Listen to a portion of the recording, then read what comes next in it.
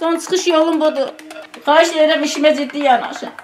Bu benzini mən gecələr özümlə saxlayıram. Uşaqlar bilmirəm haçan götürürlər, onu gizlədirlər. Uşaqlar gecələr yatmırlar, məni güdürlər. Deyirlər ki, ana gedər, özümü yandırar orada işdə, idarədə yandırar, biz anasız qalar. Bu axırıncı şansımdır müəllim bu. Axırıncı şansımdır. Mənim şikayetimə baxan yoxdur, heç yerdə baxın. Hara gedirəm mən ana müəllim qovur. Axırıncı şansım budur.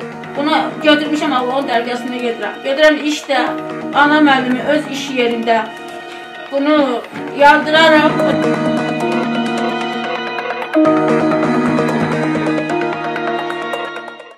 Bakı şəhəri Balaxanı qəsəbəsi 2-ci mədəndə yaşayan iki uşaq anası Məlahət Tağıyeva çalışdığı Sabunçu rayon kommunal təsərrüfat əməkdaşı Anar Qalayevdən şikayətçidir. Onun sözlərinə görə adı çəkilən şəxs onu intihar həddinə çatdırıb.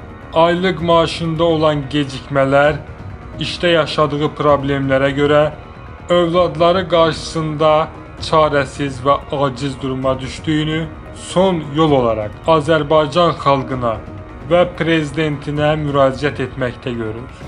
Cənab prezident, Zibirxanadan mən hel qutu yığırdım. Əskərlərimiz gördü, ürəyi dözmədi. Mənə pul verdi, gəl uşağıma çörək alasan. Mən pulu götürmürdüm. Mənə güclə dedim ki, bizim borcumuzdur, qardaş, biz sizə kömək elədik. Xeyr, badır.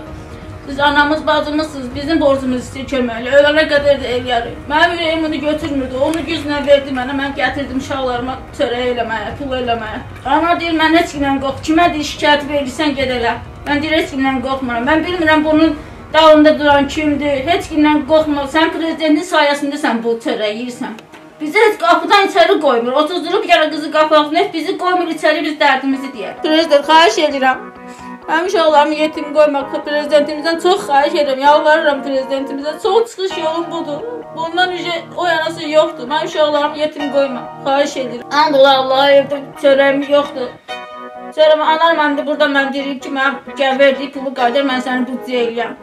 Xahiş edirəm prezidentimizdən bu iki körpəni anasız qoymasın. Çox xahiş edirəm. Yalvarıram. İşimə ciddi yanaşın. Məmurlardan, icra başçımızdan, başda prezidentimizdən, icra başçımızdan xahiş edirəm. Mənim bu işimə yanaşsın, bu iki balanı qoymasın ana. Mən işləyib bu uşaqları dolandıra bilmirəmsə, bu həyat mənim nəyimə lazımdır? Nəyimə lazımdır? İşləyərəm, elə verirəm anar müəllimə, anar müəllim gələ, məni büdcəyə götürür. Onun da xeyri nədir? Mən yaşamayımın da mənası nədir? Uşaqlarım atsız oturur, mən işləyərəm, məmurlar üçün işləyərəm, müdiriyyətlər üçün işləyərəm. Xahiş edirəm prezidentimizdən, mən bu işimə ciddi yanaşdırırsın. Mən bu uşaqlarım evdə ac qalsın. Mən gedib orada xərcə düşüm, anarım müəllimin pulu verim ona.